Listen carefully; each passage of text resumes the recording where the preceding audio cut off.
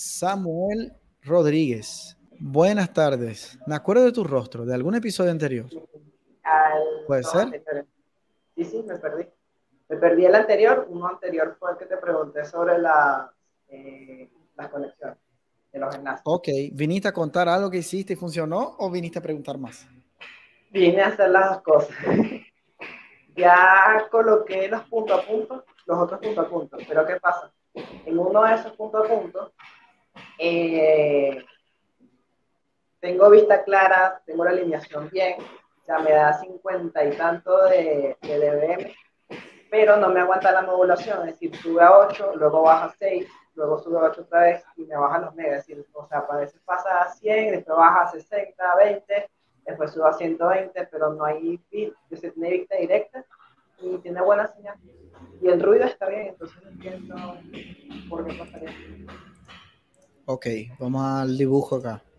A ver si entendí bien. La pregunta es respecto de un punto a punto.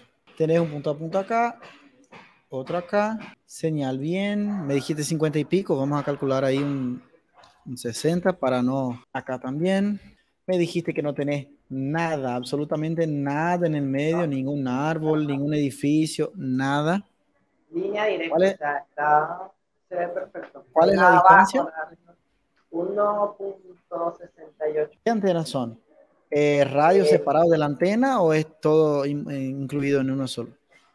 Es una Lightning AC 2. 23 dBi, de los dos lados. Si vos me das, envasado en tus informaciones acá, yo no tengo como dar un diagnóstico exacto. Obviamente, es un intento ¿no? de ayudarte tendría que revisar y diagnosticar y confirmar cada cosa que me decís, porque muchas veces uno piensa que algo está bien o piensa que algo está correcto y con toda la buena voluntad te dice, no, eso acá está bien, esa parte quédate tranquilo, eso acá está ok, pero no es por maldad ni por mentir. Entonces, cuando el otro mira, ah, mira, acá pensaste que estaba bien, pero mira, eso acá no es bien.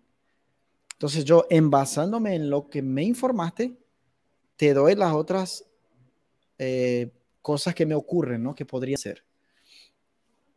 Eh, la primera de una acá es alineamiento. Alineamiento. Es lo primero que yo revisaría después de, yo digo después de revisar esas cositas acá porque alinear tenés que subir y es físico. Pero antes yo revisaría el ancho de canal, pondría un ancho más bajo solo para mejorar la, la distancia de la señal y, probar las modulaciones en cada ancho de canal. Con AC, si no me equivoco, el mínimo es 10. Tenés 10, 20, 40. ¿Te acordás en cuál está, no? Sí, eh, lo pusimos en 10 porque no sé, en mi imaginación dije, entre más pequeño sea el ancho de canal, significa que está mejor el mío. Sí, pero si está en 10 con la señal de 60, ahí ya tenemos un problema. No, no, no. O sea, lo puse en 10 para alinearlo. Una vez que ya lo ah, alineé, lo subí a 80, que es lo más, más grande que hay. Pero no me no aguanta. Con esa distancia, ahí en 80 empezamos a tener un problema también. Por eso te decía que empecemos a revisar esas cositas. Ancho de canal, eh, potencia. Vamos por lo, por lo principal. No voy a entrar mucho en detalles. Entonces, ¿qué pasa? Ancho de canal, yo te recomendaría 40. ¿Por qué? Lightbeam es una antena abierta, no tiene radón, no tiene shield, no tiene rayos separados. Generalmente los rayos separados eh, tienen mejor protección. El pigtail tiene mejor protección. Entonces una Lightbeam no es una antena para punto a punto profesional. Es una antena CPE para cliente en una casa para recibir unos megas para poder usar ahí. Entonces, eso ya te juega en contra. Ah, pero ¿y cuál es la diferencia? Muchísima, muchísima, muchísima, muchísima diferencia. Una de ellas, la protección, la reducción de interferencia, el procesador, ¿no es cierto? El CPU, que tiene que bancarse los paquetes que pasa, los paquetes por segundo que permite pasar no son apropiados para un punto a punto. Entonces, tiene un montón de desventajas de que sea una Lightbeam generación 2AC. Es buena, es buena para su función. ¿Se puede usar para punto a punto de esa distancia? Sí, pero ya tenés en cuenta de que no es lo ideal por algunos de esos motivos que te comenté. Entonces, es una antena muy, pero muy, y yo voy a repetir la tercera vez, muy propensa a interferencia. es totalmente abierta, es plástico puro, finita. No se creó para instalarla en una torre, en un punto, en donde hay un punto a punto y hay mucha, mucho tráfico, digamos. Entonces, para empezar, conformate con la velocidad que puedes llegar con 40 MHz porque eso te va a reducir al menos un poco de la interferencia que tenés, ¿sí? Otra cosa, esa señal de 60 no es tan buena como parece ser como cuando conectas a un cliente en una casa. ¿Sí? Si tenés, por ejemplo, menos 60, menos 58, con la potencia no estando en máximo, con la potencia realmente baja, en un ancho de canal ahí de 40 o 80, 80 por la señal digo, pero no te recomiendo que dejen 80, ponele 40. Con 40, con la potencia baja, nunca en máximo, ahí sí es una señal aceptable. Pero en tu caso, resumiendo todo, potencia, verificar de que no esté máximo. Vamos a suponer, si no me equivoco, tiene hasta 25 o 23 o 25. La puse en 18. Excelente. Podrías poner hasta 20, ponerle porque es el margen que te da el datasheet de, Ubiquiti.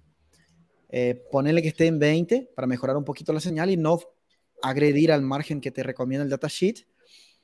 Ponerle que lo pongas en 20, pongas en 40 MHz, sigue bajando mucho la modulación. Ahí el último sería alineación, no sé si es alineación, alineamiento, en español no sé bien.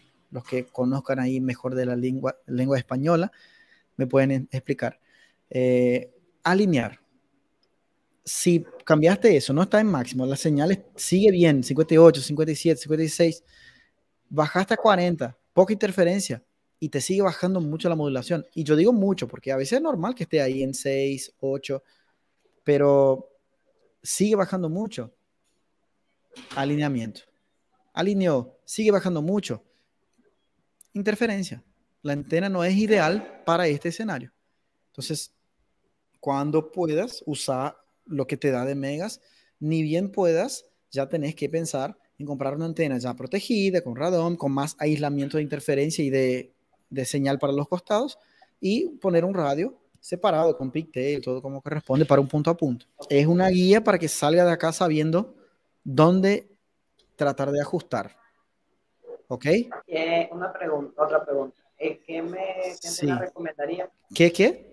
Perdón. ¿Qué Depende de la cantidad de megas que quieres pasar. Unos 200. 200 megas muy estables quieres pasar ahí. Radio, el radio tiene que soportar eso.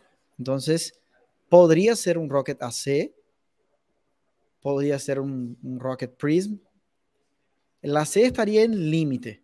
Podría ser una Mimosa, AC5C, pasa eso. Pero la cuestión acá es la antena. Como la distancia no es tan grande, con una antena de 30, la de Ubiquiti o cualquiera, tenés sobrando señal. Hasta una más chica podría funcionar re bien, pero yo te recomiendo algo que es 100% de seguridad de que estaría perfecto por esa distancia, teniendo una línea de vista limpia.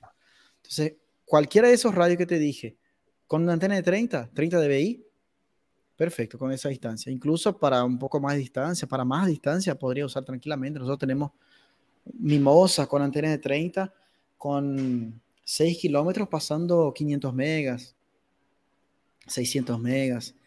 Eso, para un lado, si es agregado, da, da más, da 700, 800, pero es un número falso. Entonces, eh, cualquiera de esos radios, 200 megas estable, puede ser una Mimosa, un Rocket Prism, Rocket AC, pero el AC no sería 200 megas en un, en un destino, en un en un sentido solo, ¿sí? Ya sería bueno el Prism.